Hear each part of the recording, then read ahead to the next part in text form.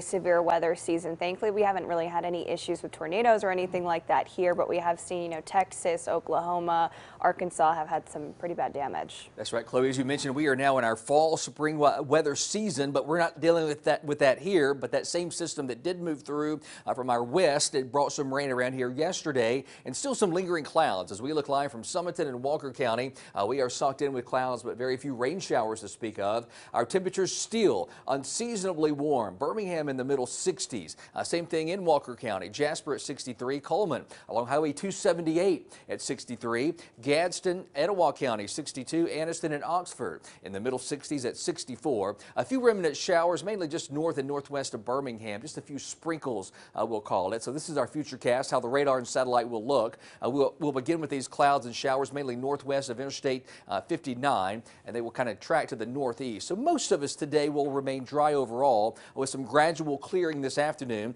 This is around uh, 4 o'clock. We'll call it a mix of sun and clouds as we uh, exit the weekend heading into the first part of your work week uh, with a few clouds tomorrow morning, a few showers possible once again Monday morning, northwest Alabama. But Birmingham area in, in and around I-20 uh, will stay dry to start the work week. So we now turn our attention to the temperatures, near record-breaking temperatures, close to 80 degrees for our highs later on today. So that front that tried its best to move through here yesterday. It's now stalling out. Back behind it, a few clouds are beginning to stream back in. So a wide contrast in temperatures. Uh, Little Rock, Arkansas now at 48 behind that front. Uh, but still, as that front is stalling out, Birmingham in the middle 60s. Uh, so we will remain warm around here. very close to record highs today. The record for Sunday for this afternoon in Birmingham at 82 degrees all the way back in 1938. 82 degrees also to, uh, tomorrow, and that could very well reach, if not break a record high, and then Tuesday, uh, the record around 84. So we'll likely remain just at, if not below, uh, the actual records for this time, for uh, today, tomorrow, and Tuesday.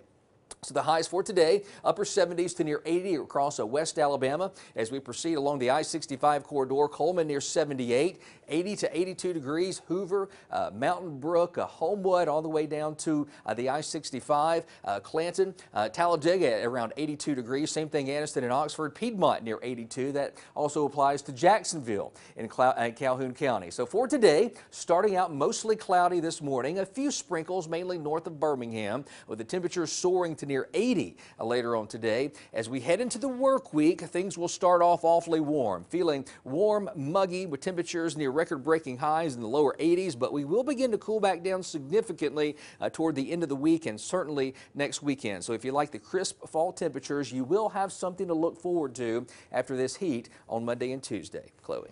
Michael, thankfully.